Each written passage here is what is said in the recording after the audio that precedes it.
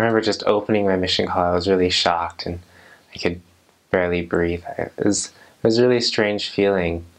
Um, my dad is Vietnamese, and I was shocked because I would be learning Vietnamese and I'd be able to talk with him. And I thought that was really cool. Um, and he started helping me with Vietnamese, and that was good.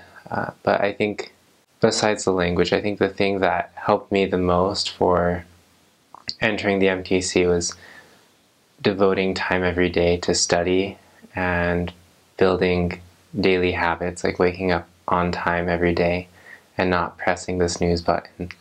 Uh, one thing that helped me was communicating with my friends who are currently serving missions. I had one friend who was also called Vietnamese speaking but to a different mission. He served in California. And he wrote me that when I started my mission, I shouldn't ever feel disappointed with how slow the progress is or how incapable I feel about my missionary skills because that doesn't help invite the Spirit. That I should just really focus on God's expectations.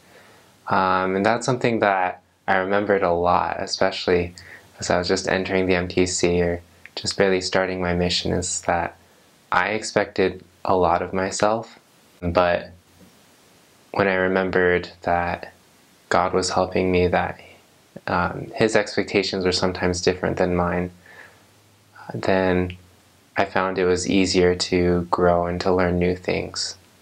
I grew up in a household where my father was Vietnamese, and it was always a part of me, but it was never really a conscious part of me.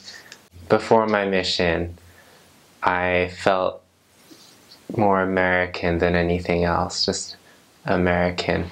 But one thing I was really grateful for uh, from my mission is that I was able to get in touch with these roots and understand what my heritage actually was. And it's something that I'm really proud of. Now I'm more likely to tell someone that I'm Vietnamese and that I'm American, even though I only lived in Vietnam for two years. Just something that kind of becomes a part of you.